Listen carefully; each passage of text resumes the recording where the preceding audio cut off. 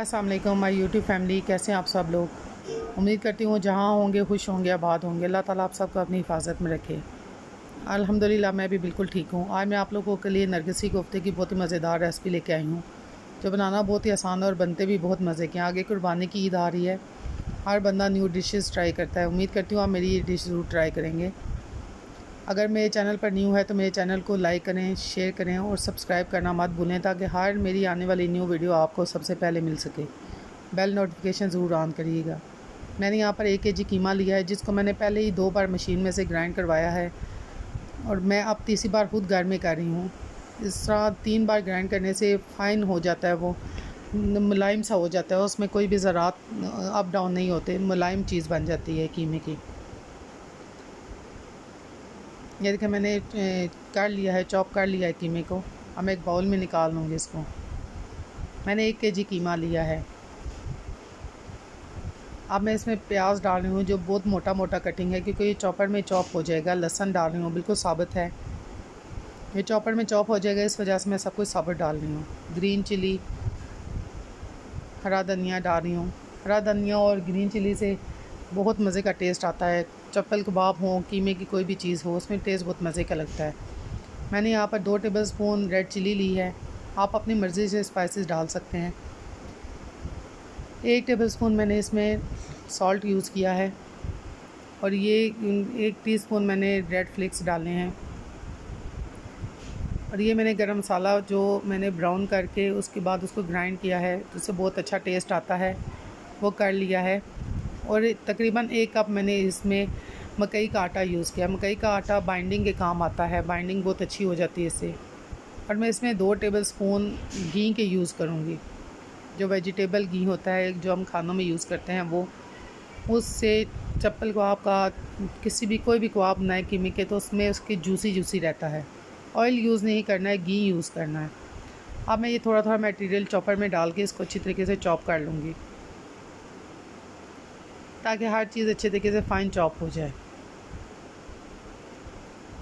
ये कि मैं इसको चॉप कर रही हूँ चॉपर में डालकर।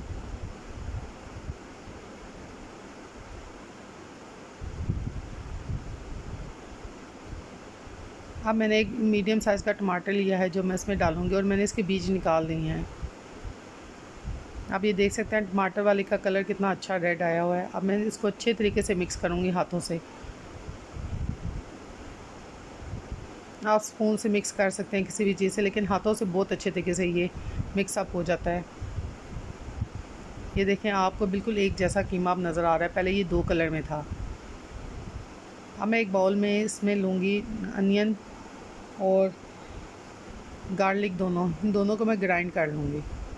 थोड़ा सा पानी डालूँगी। तकरीबन फ़ोर फाइव टेबल स्पून में मैं इसमें पानी का ऐड करूँगी। और फिर मैं इसको अच्छे तरीके से स्टिक मिक्सर से बीट कर लूँगी। ये फ़ाइन चॉप हो जाएगा। ये मैं मसाले के लिए कर रही हूँ। जो इसकी ग्रेवी बनाऊँगी, उसके लिए मैं कर रही हूँ।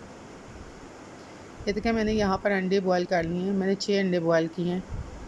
आप अपनी फैमिली के लिहाज से कर सकते हैं। अब मैं पानी हाथ पर पहले लगा लूँगी और उसके बाद मैं कीमे को अपने हाथ पर अच्छी तरह से फैला लूँगी। बहुत मोटी तय नहीं लगानी है। ये फैला लिया अब मैं इसको अंडे के साथ अच्छी तरह से कवर अप कर लूँगी। और इसके साथ साथ पानी लगा के आपने अच्छी तरह से इसको कवर करना है कि कोई भी इसके ऊपर स्क्रैचेस नज़र ना आए। स्क्रैचेस होंगे तो ये फट जाएगा। आपने हल्का सा पानी लगा के आपने अच्छे तरीके से इसको कर लेना है ताकि ये अच्छी तरीके से बाइंड हो जाए। देख सकते हैं आप कितने मज़े से बाइंड हो गया। मैं एक और आपके सामने बना रही हूँ। मैं इसको रोटी की तरह अपने हाथों के ऊपर फैला लूँगी। हल्के से हाथों से पानी लगा के उसके बाद मैं इसको फैला रही हूँ ताकि ये इसमें कोई भी स्क्रैचेस ना रहे। अब मैं फिर अगेन अंडे के ऊपर इसको अच्छे तरीके से बाइंड करूँगी और साथ हल्के हल्के हाथों से पानी लगा के इसको अच्छी तरह से कर लूँगी ताकि इसके ऊपर कोई भी स्क्रैचेस नज़र ना आए। ये आप ज़रूर बनाइएगा, ये बहुत मज़े के बनते हैं और बहुत टेस्टी लगते हैं। किसी की दावत हो, ईद का दिन हो, ईद के दूसरे दिन, तीसरे दिन जब आपके घर दावत हो, आप ये ज़रूर डिश बनाएँ। ये देखें आप इसको कोई स्क्रैचेस आपको इसके ऊपर नज़र नहीं आ रहे हैं। ये मैंने बना लिए हैं। अब मैं जो बाकी बचा हुआ मटीरियल है उससे कोफ्ते बना लूँगी कच्चे गेमे के। ये भी बहुत मज़े लगते हैं। मैं नेक्स्ट टाइम आपके साथ इसकी रेसिपी शेयर करूँगी, कच्चे गेमे के कोफ्तों की। अब मैं इसको शैलो फ्राई कर लूँगी। आप चाहें तो शैलो फ्राई करें, अगर ना चाहें तो आप इसको ग्रेवी में डायरेक्ट ऐड कर सकते हैं, कुछ भी नहीं होता।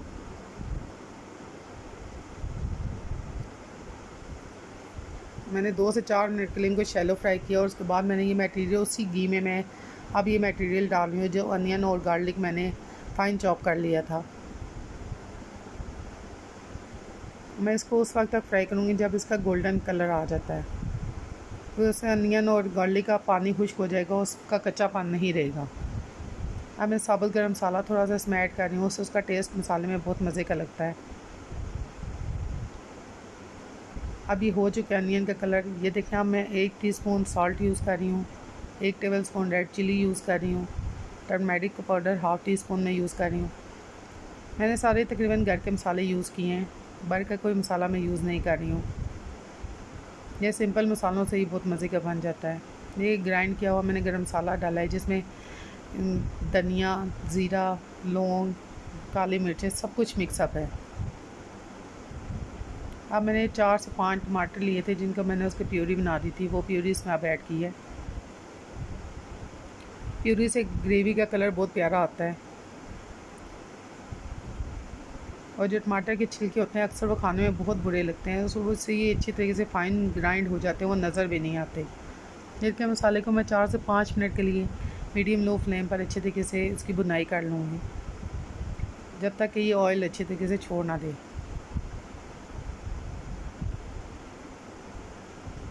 देखिए मैं इसकी बुनाई कर रही हूँ।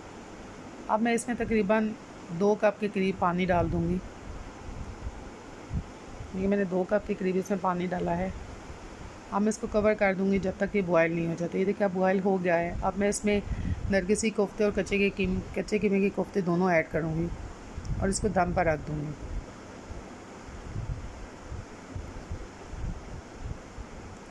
पंद्रह से बीस मिनट तक मैं इसको दम पर रख के इस ग्रेवी को पकाऊँगी।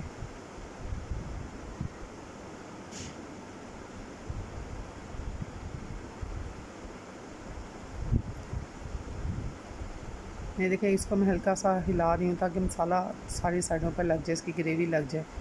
अब मैं इसको कवर करके पंद्रह से बीस मिनट के लिए रख दूँगी। अब ये देख सकते हैं कि ये तकरीबन रेडी हो चुके हैं। अब इसमें ग्रीन चिली और ग्रीन अंडर में डालूँगी इसमें डेकोरेशन के लिए। देख सकते हैं आप इसने ऑयल भी छोड़ दिया है। ग्रेवी आपकी अपनी मर्ज़ी है, आप कैसी रखना चाहते हैं। कम रखना चाहते हैं, ज़्यादा रखना चाहते हैं। मैंने मीडियम नॉर्मल रखी है, बहुत ज़्यादा पतली भी नहीं रखी और बहुत ज़्यादा गनी भी नहीं की है। ना मैं हरी धनिया और हरी मिर्चें डाल दी हैं इसके ऊपर। आप ये देख सकते हैं कि नरगसी कोफ्ते तैयार हो चुके हैं और कितने मज़े के लग रहे हैं। इसकी ग्रेवी कितने मज़े की लग रही है। उम्मीद करती हूँ आपको मेरी रेसिपी पसंद आ रही होंगी। अगर मेरी रेसिपी पसंद आ रही है तो उसको लाइक करें, मेरे चैनल को सब्सक्राइब करें, मेरी वीडियोस वॉच करने का बहुत शुक्रिया। अल्लाह हाफिज़।